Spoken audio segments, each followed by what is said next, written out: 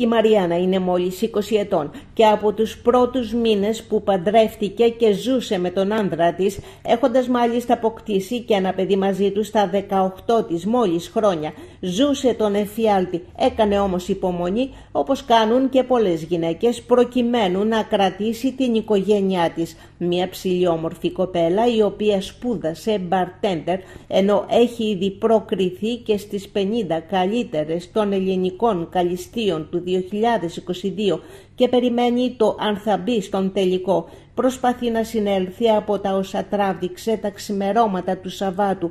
Σασίφουνας μπήκε στο ιδιόκτητο σπίτι της. Ο ενδιαστάσει 33χρονος σύζυγός της και λίγο έλειψε να την πνίξει. Τη χτυπούσε σε όλο της το σώμα και η ιατροδικαστική έκθεση της Αγγελικής Τσιόλα που έγινε το πρωί του Σαββάτου καταγράφει μόλοπες και άλλα σημάδια της κακοποίησης. Ακάλεστος. Ήμουνα μόνη μου χωρίς το, χωρίς το μικρό. Το μικρό τον είχα φέρει στην μητέρα μου. Ε, νόμιζα, ε, είχα πάει στο δικηγόρο γι' αυτό τον είχα αφήσει και μετά πήγα σπίτι μου να κάνω τις δουλειές μου και θα πήγαινα να τον ξαναπάρω. Και ξαφνικά χτυπάει το κουδούνι και ανοίγω, ανοίγω και την πόρτα μου, πάω να ανοίξω τα σανσέρ μου, νομίζω ότι η μητέρα μου έχει φέρει το μωρό και μπαίνει και τον βλέπω μπροστά μου, με αρπάζει, αρπάζει το τηλέφωνο, κλείνει την πόρτα και αρχίζω και φωνάζω. Του λέω να φύγει από εδώ, ότι δεν, δεν πρέπει να είναι εδώ, είναι, είναι, απαγορεύεται να είναι δικιά μου διοκτησία. Έχει μπει μες στην διοκτησία τη δικιά μου. Μετά με γραπώνει, βάζει μουσική για να μην ακούγομαι, με βάζει μέσα στο δωμάτιο, κλείνει μπατζούρια, κλείνει πόρτες και αρχίζει να με πιάνει, να με γραπώνει από το λαιμό να με σφίγγει, να περνάει από πάνω μου, να αρχίζει να, να μου λέει βρωμοκουβέντες, να αρχίζει να με βρίζει, να αρχίζει να μου λέει γιατί, γιατί τον χώρισε, αυτό τον πείραξε. Γιατί ήθελε να με χειρίζεται. Ήθελε έναν άνθρωπο να χειρίζεται και τα έχει καταφέρει. Με χειριζόταν πάρα πολύ καλά. Με είχε κάνει μαριονέτα του. Ήμουνα μια μαριονέτα, ήμουνα μια σκλάβα. Δυόμιση χρόνια μέσα σε ένα σπίτι, ανέχτηκα τα πάντα. Τα πάντα όμως. Ήμουνα μόνο σκούπισμα, μαγείρεμα, με το παιδί να ασχολούμαι και που πήγαινα, ξέρω εγώ, ένα γυμναστήριο μισή ώρα με το ζόρι και 30 τηλέφωνα πάνω στο καπούτ γιατί λείπει και γιατί αργείς. Δεν είχα ζωή. Με διέκοψε από όλους. Από όλους. Σας τύψε. Πάρα πολύ. Δηλαδή. Πήγε να με σκοτώσει. Τι λέτε τώρα. Να σκοτώσει. Πήγε να με σκοτώσει. Δηλαδή, εγώ σήμερα θα ήμουν νεκρή. Σας έπιασε πόσε. Με είχε, είχε έρθει από πάνω μου, με είχε πιάσει από το λαιμό, με έσφυγε, μου λέει, μου λέει σκέφτομαι αν θα σε σκοτώσει. Δηλαδή, δεν νομίζω μου λέει ότι υπάρχει λόγος να ζήσεις εσύ. Μου λέει μια πόρνη δεν αξίζει να ζει. Μου λέει το παιδί δεν σε χρειαστεί. Μια πόρνη; Μια πόρνη, πουτάνα, πόρνη, μόνο αυτά υπήρχαν για μένα. Τίποτα άλλο. Του είχε καρφωθεί στο μυαλό, είχε, ο άνθρωπος είχε παρεστήσεις, τα μυθομανεί. Ότι έχω γκόμενο, επειδή τον τελευταίο χρόνο που είχαν γίνει όλα αυτά, εγώ δεν ήθελα να. να είχα, είχα, είχα, το σκεφτόμουν ένα μισή χρόνο να χωρίσω γιατί δεν ήθελα ότι αυτό ο άνθρωπο να με ακουμπάει ή έτσι όπως μου φερόταν, δεν τον ήθελα. Και λόγω της απέχθειάς μου απέναντί στο πρόσωπό του, νόμιζα ότι είχε γκόμενο. Και εγώ να μην έχω μηδέν ζωή, δηλαδή πού να τον βρω. Ούτε καφέ πήγαινα, ούτε ποτέ, ούτε μια φίλη, δεν είχα τίποτα. Πού να τον βρω. Ούτε στη μάνα μου δεν μίλα.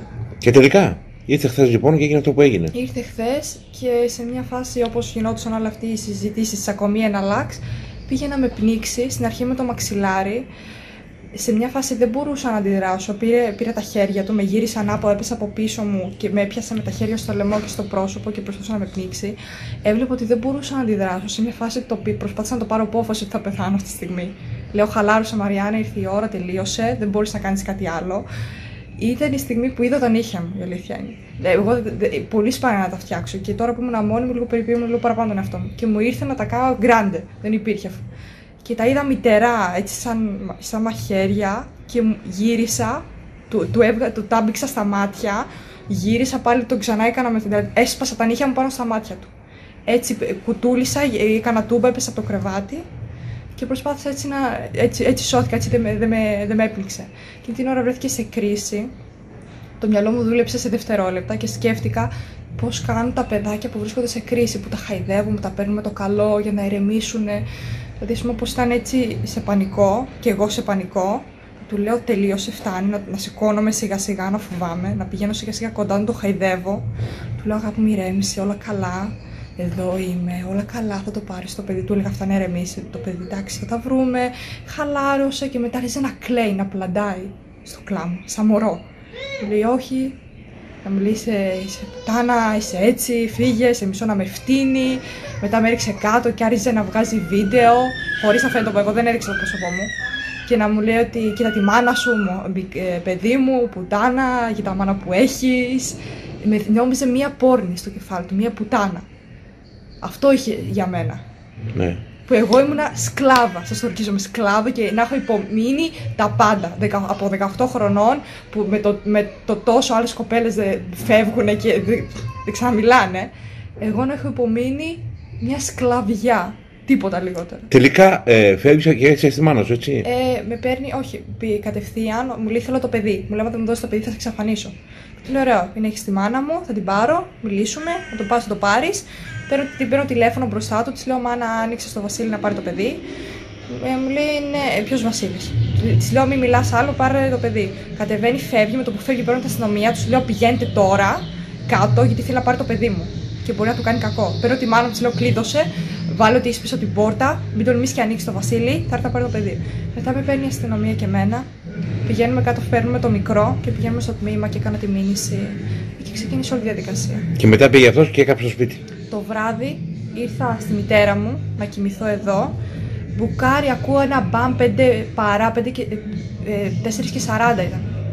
Και γιατί είδα το κινητό μου, το είχα δίπλα. Και μπουκάρει μέσα, αρχίζει και κλαίει, ωρύεται, παίρνει το παιδί αγκαλιά, του λέει όλα αυτά που του είπε, φεύγει και από ό,τι μίλησα με τους γείτονες γύρω σε εκεί στις 6 έκαψε το σπίτι. Πήγε να κάψει, είχα μία, ε, μία ένα, είχα γκάζι, υγραέριο, ναι. μία μπουκάλα. Και άμα η μπουκάλα ακουμπούσε, είχε πιάσει φωτιά, θα ανατιναζόταν όλη η πολυκατοικία. Όλη η πολυκατοικία. Και όλη η γειτονιά γενικά. Έβαλε παντού, έβαλε, έβαλε βενζίνη στο σπίτι έβαλε, μέσα. Μπήκε μέσα, έβαλε βενζίνα, πήρε όλα του τα χαρτιά, γιατί είναι από την Αλβανία. Ναι. Πήρε όλα του τα χαρτιά. Ε, μου χάλασε όλα μου τα ρούχα, τις ντουλάπες μου, δεν έχω τίποτα τώρα. Τα, μου πήρε τα πάντα, τα έκαψε και έβαλε, έβαλε παντού βενζίνα. Παντού. Έκαψε τα πάντα. Όλη μου την περιουσία, όλη την περιουσία των γονιών μου που έχουν δουλέψει, όλη του τη ζωή, την, την, την κούραση της μάνας μου, τον υδρότα του, δεν σεβάστηκε τίποτα. Και, τα, και, τα, και μάλιστα έσπασαν την πόρτα γείτονε για να του φωτιά. Έσπασαν την πόρτα. Τώρα εγώ δεν έχω πόρτα, δηλαδή το σπίτι μου είναι ανοιχτό. Ναι, ναι, ναι. Εδώ το σπίτι μου είναι ανοιχτό, δηλαδή εγώ εδώ έχω βάλει ένα, μια, μια, ένα τραπέζι από πίσω, δεν έχω ακόμα πόρτες.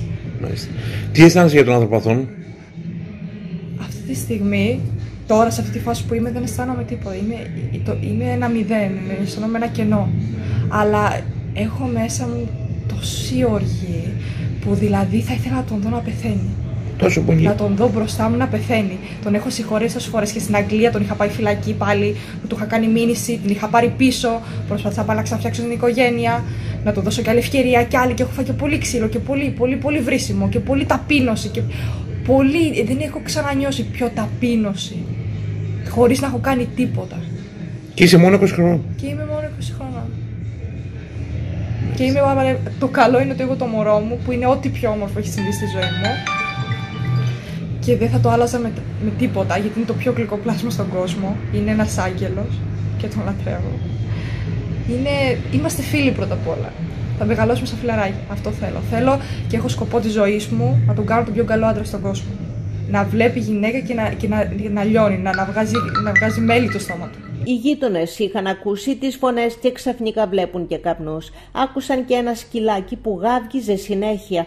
Το σκυλάκι μας έσωσε. Μέσα στο σπίτι υπήρχε και φιάλι υγραερίου. Τι θα γινόταν, θα τειναζόταν όλη η πολυκατοικία στον αερά. Αναρωτιέται μία γειτόνισσα η συνοικία σηκώνεται στο πόδι, σπέβδουν από άλλα διαμερίσματα της πολυκατοικίας και καταφέρνουν και σπάνε την πόρτα. Οι γείτονες μπαίνουν μέσα και σβήνουν τη φωτιά. Η αστυνομία εξαπέλυσε άνθρωπο κυνηγητό τα ξημερώματα του Σαββάτου για να συλλάβει τον 33χρονο.